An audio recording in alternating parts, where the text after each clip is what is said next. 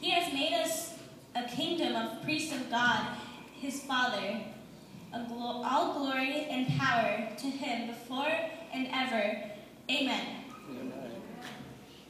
Look, he comes with the clouds of heaven, and everyone will see him, everyone, those who pierced him, with all the nations in the world with mourn for him. Yes, amen. Amen.